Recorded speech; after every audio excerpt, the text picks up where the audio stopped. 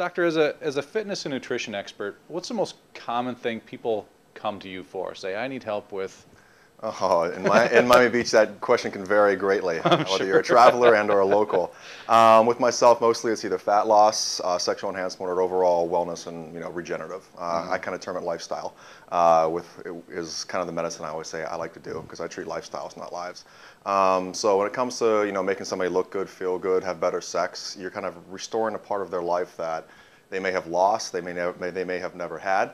Uh, but either way, you definitely become one of their very good friends once uh, once they get to the point they want to be. But fat loss, start with that. I mean, that's one of the more common Oh yeah. issues that people want. What what's the biggest mistake people have gotten into to get to that point? You think? Uh, mostly lifestyle decisions, honestly, because everybody has the potential. Whether I mean, even people who have you know genetic uh, deficiencies still have the ability to lose fat. Um, people don't realize that um, you know everything starts with nutrition.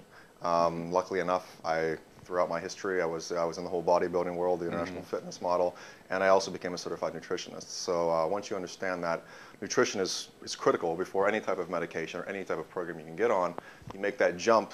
You know, you understand that uh, then everything else is just cake. So uh, you know, I start nutritionally, give them the actual diet plan, and then I can augment it with either natural, you know, medical grade supplements and or uh, medications. when you give them that diet plan, how many people stick with that?